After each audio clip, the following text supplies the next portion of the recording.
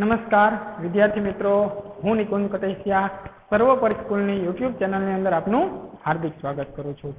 તો, વિદ્યાર્થી મિત્રો, અત્યાર સુધીમાં આપણે જે પાછળના ત્રણ પાર્ટ જોયા, એનાથી આગળ વધીએ હવે આપણે.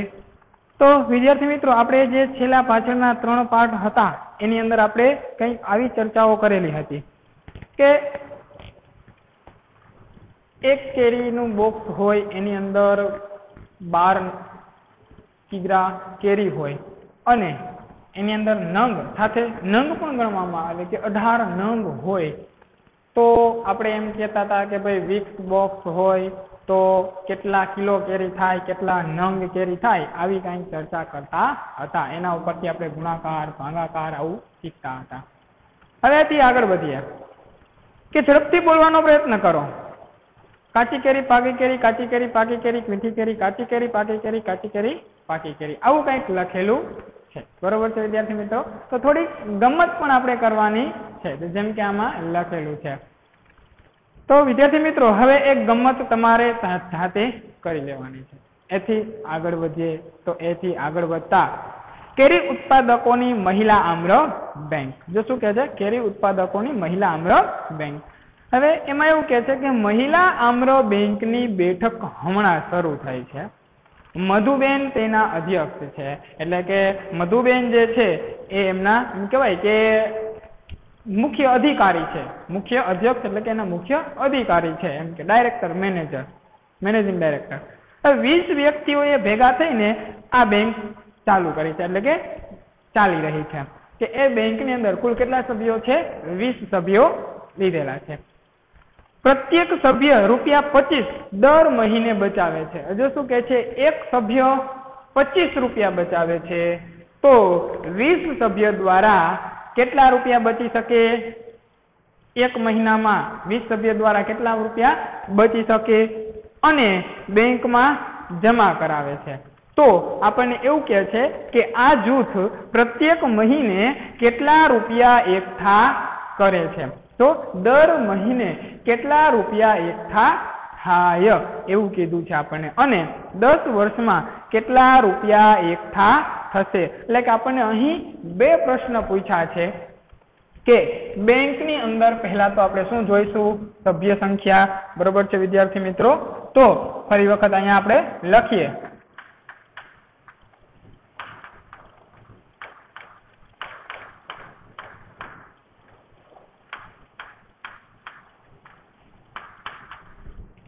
બેંકમાં સભ્ય સંખ્યા કેટલી હતી? તો કે વીસ વ્યક્તિ.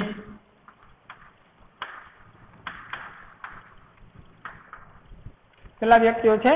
વીસ વ્યક્તિ. હવે એમાં એક વ્યક્તિ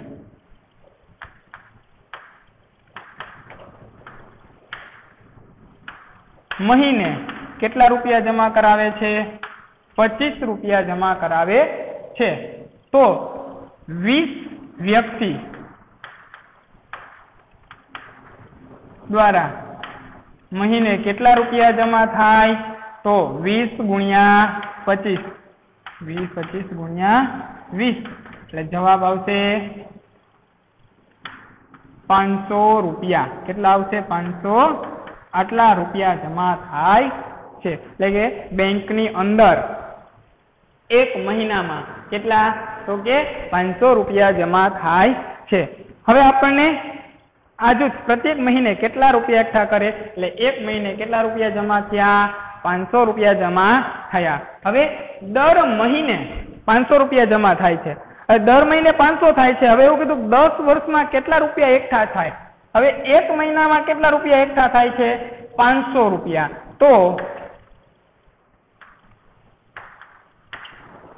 એક વર્ષ. એટલે કેટલા મહિના? બાર મહિના થયા કેવા વિદ્યાર્થી મિત્રો. બરોબર છે? બાર મહિના થયા. તો દસ વર્ષ એટલે કેટલા મહિના થાય? કેટલા મહિના થાય? તો આનો આની સાથે ગુણાકાર કરો. તો કે બાર ગુણ્યા દસ. એટલે કે એકસો ને વીસ મહિના થયા. કેટલા? એકસો ને વીસ મહિના. એટલે દસ વર્ષની અંદર એકસો ને વીસ મહિના થાય.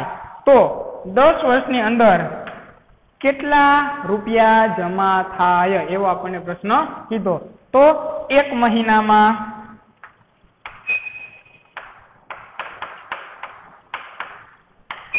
પાંચસો રૂપિયા. તો એકસો ને વીસ મહિના એટલે કે દસ વર્ષની અંદર કેટલા રૂપિયા જમા થાય? તો અહીંયા આવશે પાંચસો એને ગુણ્યા એકસો ને વીસ. હવે જો મીંડાવાળા ગુણાકારમાં મેં તમને કીધું છે, શું કરવાનું? મીંડા મીંડા પહેલા લખી નાખવાના. એક, બે અને ત્રણ મીંડા લખી નાખ્યા. હવે બાર, પંચાને સાઠ તો કેટલા રૂપિયા થયા વિદ્યાર્થી મિત્રો મિત્રો? તો કે સાઠ દસ વર્ષની અંદર સાઠ હજાર રૂપિયા જમા થાય છે. તો આ હતો આપણો એક, એમ કહેવાય કે ઉદાહરણ તરીકેનો દાખલો હતો. બરોબર છે વિદ્યાર્થી મિત્રો? હવે આવી જ રીતના તમને બાજુમાં એક મહાવરો આપેલો છે. અહીંયા નીચે શું આપેલું છે? મહાવરો. દરેક વિદ્યાર્થીઓ જોવે? પેજ નંબર બાર ઉપર આપણને એક મહાવરો આપેલો છે કે રેખાએ એક લારી ખરીદવા માટે રૂપિયા ચાર હજારની લોન લીધી. કેટલા એક લારી ખરીદવા માટે ચાર હજારની લોન લીધી હતી. તેણે એક વર્ષ સુધી દર મહિને રૂપિયા ત્રણસો ને પિસ્તાલીસ પાછા ચૂકવ્યા. તો તેણે કેટલા રૂપિયા બેંકને પાછા આપ્યા હશે? તેને હજી કેટલા રૂપિયા બેંકને પાછા આપવાના રહે? હવે વિદ્યાર્થી મિત્રો, જો શું કહે છે? તેણે એક લારી ખરીદવા માટે ચાર હજારની લોન લીધી હતી. હવે એક વર્ષ સુધી એ દર મહિને ત્રણસો ને પિસ્તાલીસ રૂપિયા. એટલે દર મહિને ત્રણસો ને પિસ્તાલીસ. એટલે એક મહિને કેટલા રૂપિયા આપતી હતી એ? ત્રણસો ને પિસ્તાલીસ રૂપિયા આપતી હતી. તો બાર મહિને કેટલા રૂપિયા થાય? તો તમને ખબર જ છે કે ત્રણસો પિસ્તાલીસ એને ગુણ્યા બાર. એટલે અહીંયા જે આવશે જવાબ આવશે. બરોબર છે વિદ્યાર્થી મિત્રો? તો હવે આવો ગુણાકાર તો તમને આવડતો જ હોય. હવે, એ પછી, હવે આનો જે જવાબ આવે છે, એ જે જવાબ આવે એમાંથી જે આપણે શું કરવાનું છે? કે એને જે રૂપિયા ભેગા કરેલા હશે. હવે આનો ગુણાકારનો જવાબ આપણે લઈ આવીએ અહીંયા કણે.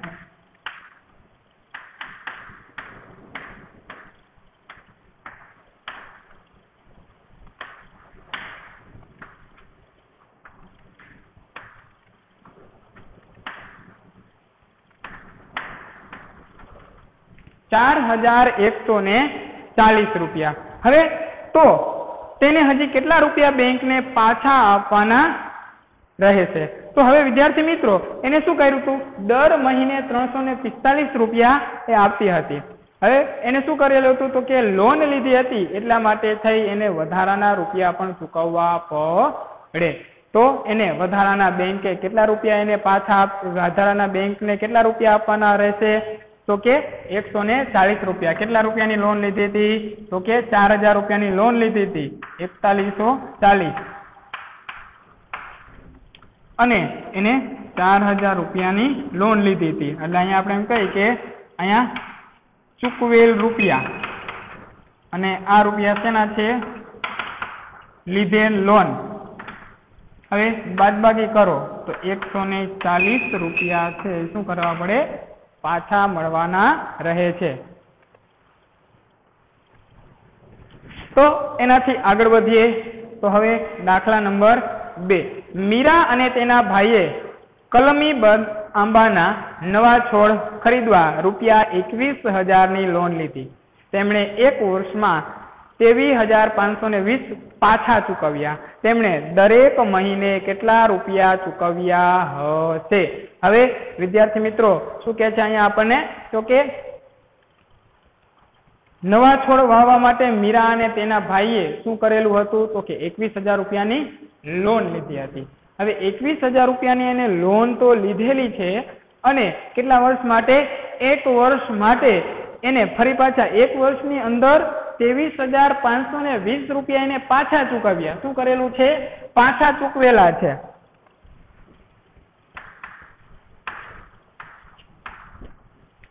ત્રેવીસ હજાર પાંચસો ને વીસ રૂપિયા પાછા ચૂકવે છે. કેટલા? એક વર્ષની અંદર. તો બાર મહિનામાં, એટલે કે એ મહિને મહિને કેટલા રૂપિયા ચૂકવતા હશે? શું કહે છે વિદ્યાર્થી મિત્રો? આપણને અહીંયા એ મહિને મહિને કેટલા રૂપિયા ચૂકવતા હશે એ આપણને એવું પૂછી રહ્યા છે. તો આપણે શું કરીશું એના એના માટે થઈને? તો આપણને અહીંયા કણે એવું કહે છે કે ત્રેવીસ હજાર પાંચસો ને વીસ રૂપિયા.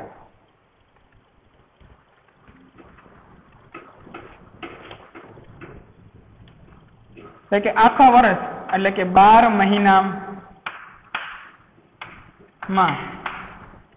ચૂકવેલ રકમ.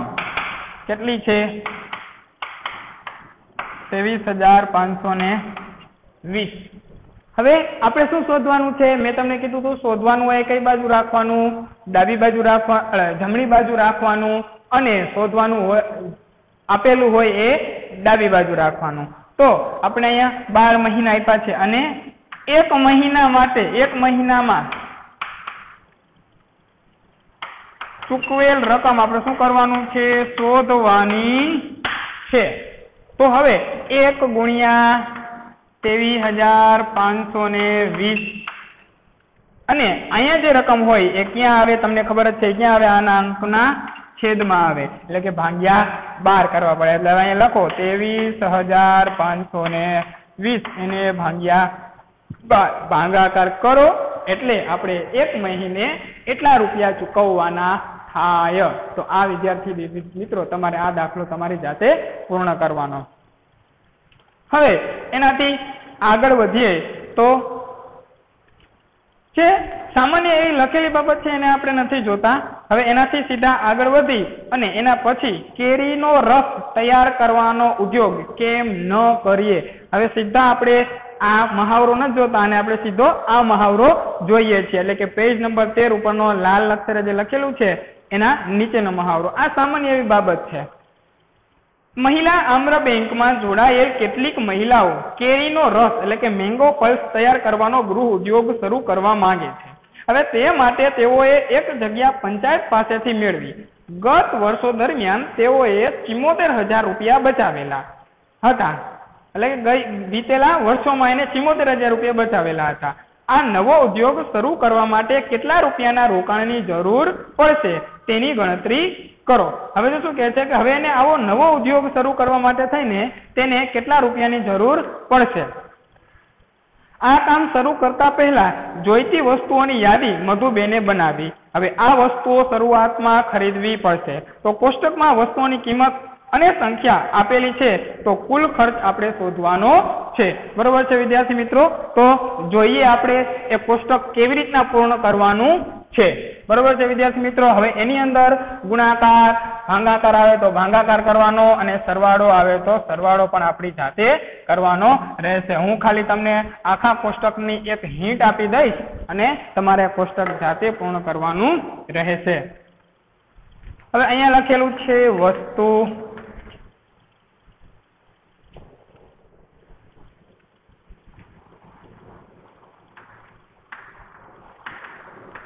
પ્રતિ વસ્તુ એનો ભાવ. એટલે કે એક વસ્તુનો ભાવ આપેલો છે આ. વસ્તુની સંખ્યા. એટલે કે કેટલી વસ્તુ લેવાની છે? એક વસ્તુ લેવાની કે બે વસ્તુ લેવાની? અને અહીંયા એનો ખર્ચ થશે. હવે પેલું આપ્યું છે મિક્સર અથવા તો ગ્રાઇન્ડર.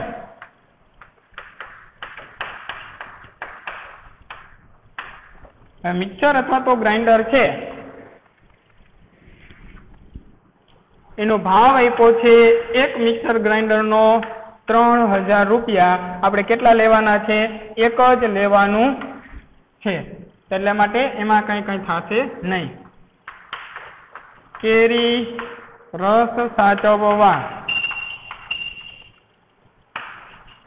અને વેચાણ અથવા તો ફેરવણી માટે.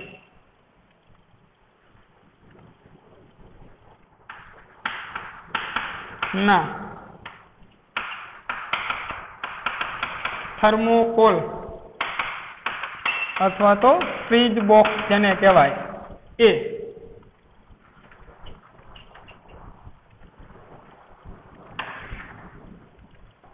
થર્મોકોલ માટેના ફ્રીજ બોક્સ.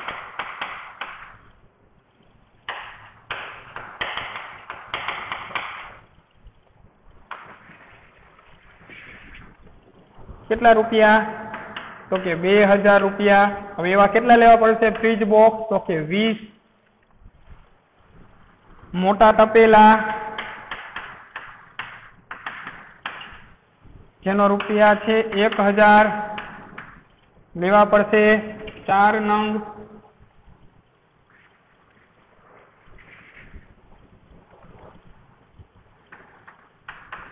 ટ્રે અને છરી રૂપિયા ત્રણસો કેટલા નંગ? વીસ નંગ અને ડોલ. કેટલા રૂપિયા? પંચોતેર રૂપિયા ડોલના. કેટલા નંગ લેવી જોશે? વીસ નંગ લેવી જોશે. તો હવે વિદ્યાર્થી મિત્રો, અહીંયા જે આપણે આપેલું છે, એની ચર્ચા કરીએ. જો મિક્સર અથવા તો ગ્રાઇન્ડર લેવાનું છે. હવે મિક્સર અથવા તો ગ્રાઇન્ડર એક લ્યો. એટલે એના કેટલા રૂપિયા થાય? ત્રણ હજાર રૂપિયા. જો અહીંયા પ્રતિ વસ્તુ એનો મતલબ કે એક વસ્તુ, એટલે કે એક અથવા મિક્સર ગ્રાઇન્ડર અથવા લ્યો, એટલે એના ત્રણ હજાર રૂપિયા થાય. હવે આપણે કેટલી વસ્તુની જરૂર છે એ અહીંયા આપેલું છે? મિક્સર અથવા તો ગ્રાઇન્ડર કેટલા લેવાના છે? એક. તો આને ગુણ્યા આ કરો, એટલે આટલો ખર્ચ અહીંયાનો અહીંયાનો જે જવાબ આવે, એનો આ મિક્સર અથવા તો ગ્રાઇન્ડરનો અહીંયા ખર્ચ થાય. તો આનો આની સાથે ગુણાકાર કરો, ત્રણ હજાર ગુણ્યા એક, એટલે અહીંયા કેટલા આવશે? ત્રણ હજાર. હવે પછી શું આપ્યું છે? કેરીનો રસ સાચવવા અને વેચાણના ફેરીને માટે થર્મોકોલ, એટલે કે ફ્રીજ બોક્સ જે લેવાના છે, ફ્રીજ બોક્સ એ એક વસ્તુના, એક ફ્રીજ બોક્સના કેટલા છે? બે હજાર રૂપિયા છે. એવા કેટલા ફ્રીજ બોક્સ લેવાના છે? તો કે વીસ ફ્રીજ બોક્સ લેવાના છે. તો હવે આપણે શું કરશું? આ બે વસ્તુનો ગુણાકાર. હવે મીંડા આપણે છે એ શું કરી દેવાના? પેલા એમને લખી નાખવાના. એટલે અહીંયા લખીએ, એક, બે, ત્રણ અને ચાર મીંડા એના. ને બે, દુ, ચાર. ચાર અહીંયા અને ચાર બીજા મીંડા. તો કેટલા થાય? ચાલીસ હજાર રૂપિયા. શેના થાય છે? તો કે ફ્રીજ બોક્સ માટેના થાય છે. અને બાકીની જે ત્રણ વસ્તુ છે, એને તમારે આવી જ રીતના અહીંયા પૂર્ણ કરવાની છે છેલ્લે. અને છેલ્લે અહીંયા કણે તમારે શું લખવાનું છે? તો કે ઉદ્યોગ શરૂ કરવા માટે. કુલ ખર્ચ. કુલ ખર્ચ એટલે મતલબ કે અહીંયા જે ખર્ચ થાય, એનો છેવટે અહીંયા તમારે શું કરવાનો? સરવાળો કરવાનો રહે છે. આનો સરવાળો કરવાનો રહે છે. એટલે અહીંયા એ આપણો દાખલો પૂર્ણ થાય. બરોબર છે વિદ્યાર્થી મિત્રો? તો આવી રીતના આપણે એ કોષ્ટક પૂર્ણ કરવાનું રહેશે. પછી તો આગળ એવું કહે છે, જ્યારે તે કેરીમાંથી રસ કાઢે છે, ત્યારે રસનું વજન લગભગ કેરીના વજનના એક તૃતીયાંશ જેટલું થાય છે. એટલે કે કેરીનું વજન માની લ્યો કે આપણે એમ કહીએ કે ભાઈ અઢાર કિલો છે સોરી, અઢારસો ગ્રામ છે. અઢારસો ગ્રામનો ત્રીજો ભાગ કરો તો કેટલો થાય? તો અઢારસો એકસો એસી ગ્રામ ભાંગ્યા. અઢારસો ભાંગ્યા ત્રણ કરો એટલે એનો ત્રીજો ભાગ થઈ જાય. મતલબ કે જે એનું વજન હોય એને ભાંગ્યા ત્રણ કરો એટલે એનો ત્રીજો ભાગ થઈ જાય છે. તેણે એક મહિનામાં છ હજાર કિલો કેરીમાંથી મેંગો પલ્સ તૈયાર કરવાનું આયોજન કર્યું છે. તો એક મહિનામાં કેટલો મેંગો પલ્સ તૈયાર થશે? હવે એને શું કહે છે? તો એક મહિનામાં એને છ હજાર કિલો કેરીમાંથી રસ કાઢવાનું તૈયાર કરેલી છે. તો છ હજાર કિલો કેરી હોય તો એને ભાંગ્યા ત્રણ કરો. એટલે એટલો આપણને શું મળે? રસ મળવાનો છે. તો આપણે એમ કહીએ કે છેલ્લે આગળ એનો જવાબ માંગેલો છે. એમાં તો એક મહિનામાં છસો કિલો કેરીમાં, છ હજાર કિલો કેરીમાંથી મેંગો પલ્સ તૈયાર કરવાનું આયોજન કરેલું છે. તો એક મહિનામાં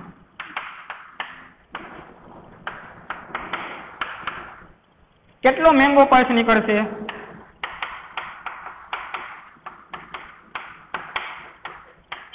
છ હજાર એને ભાગ્યા ત્રણ કરો. એટલે આપણને એટલા કિલો મેંગો પલ્સ નીકળશે. બરોબર છે વિદ્યાર્થી મિત્રો? તો આ હતું આપણા માટે શું? તો કે મેંગો પલ્સ નીકળવા માટેની વસ્તુઓ. તો હવે એથી આગળ તો કે એની આથી આગળ જોઈએ, તો એમાં શું આપેલું છે? તો કે કોષ્ટક આપેલું છે કે મધુબેન પહેલા છ કિગ્રા કેરી માટે ગણતરી કરીએ. હવે કેરીની ખરીદી માટે એને પંદર રૂપિયા પ્રતિ કિલોગ્રામની જરૂર પડે છે. તૈયાર મેંગો પલ્સની ખરીદી માટે થઈ. જ્યારે એને કેટલાની? તો કે સિત્તેર રૂપિયા પ્રતિ કિગ્રાની જરૂર પડે છે. એટલે કે જો એને કેરી લેવી હોય, તો પંદર રૂપિયા એક કિલો કેરીના મળે છે. અને જો એને રસ લેવો હોય, તો સિત્તેર રૂપિયા કિલો રસ મળે છે, એવું કહેવા માંગે છે. હવે એને લગતા નીચે આપણને પ્રશ્નો પૂછેલા છે. આપણે છ કિગ્રા કેરીનો રસ કાઢીએ, તો આપણને ખાલી જગ્યા કિગ્રા મેંગો પલ્સ કેરીનો રસ મળે. હવે શું કીધું આપણને? છ કિલો કેરીનો તમારે રસ કાઢો. તો કેટલો કેરીનો રસ મળે? વળી પાછું આપણે અગાઉ આવી ગયું હતું એમ જ કે જ્યારે તમે શું કરો છો? એક કિલો કેરી, એટલે કે છ કિલો કેરી છે, એને ભાંગ્યા ત્રણ કરો, એટલે તમને શું મળે છે? એ કેરીનો રસ મળી જાય છે.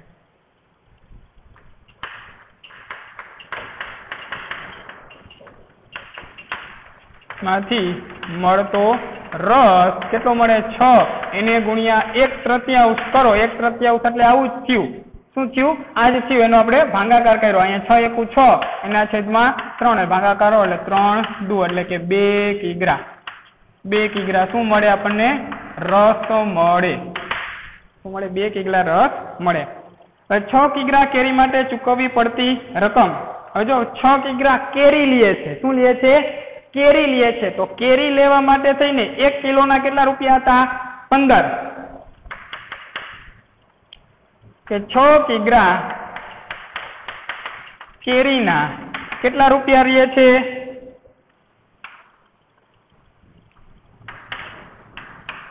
તો એ આપણે શોધવાનું કે એક કેરીના, એક કિલો કેરીના પંદર રૂપિયા તો છ કિલોના કેટલા તો છ ગુણ્યા પંદર. જાવે જવાબ. હવે વિદ્યાર્થી મિત્રો આગળના જે દાખલા આપેલા છે, તો એ તમારે તમારી જાતે પૂર્ણ કરવાના રહે છે. બરોબર છે વિદ્યાર્થી મિત્રો? આગળ જે આપણને માહિતી આપેલી છે, પેજ નંબર ચૌદ ઉપર અને પેજ નંબર પંદર ઉપર આ જે કોષ્ટક આપેલું છે, એ તમારે તમારી જાતે પૂર્ણ કરવાનું રહે છે. તો આની અંદર આગળનો જે પાઠ છે, એ તમારી જાતે પૂર્ણ કરવાનો રહે છે. તો અહીંયા સુધીનો આપણે આપણો પાઠ એક પૂર્ણ કરીએ છીએ અને અત્યાર સુધીમાં જે આપણે ચાલ્યું, એની આપણે અહીંયા પૂર્ણાહુતિ કરીએ છીએ. હવે પછીનું આપણે નેક્સ્ટ લેક્ચરમાં ભણશું. અસ્તુ.